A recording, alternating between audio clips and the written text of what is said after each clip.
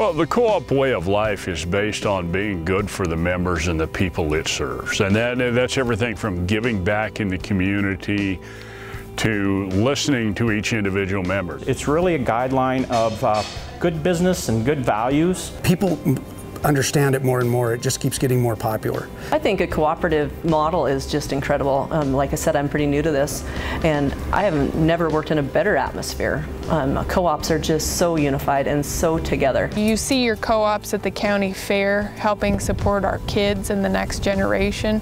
If we can strengthen our local communities, big or small, that only strengthens the cooperative. Those principles are, are the Bible. That's what we go by. That's what we, we live by and we should stick with. Those uh, foundational principles, they don't change and uh, they help us and guide us as we make our decisions to serve the interest of those member owners.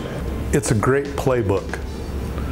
You, you have those defined moves you can't screw it up if you follow those basic principles.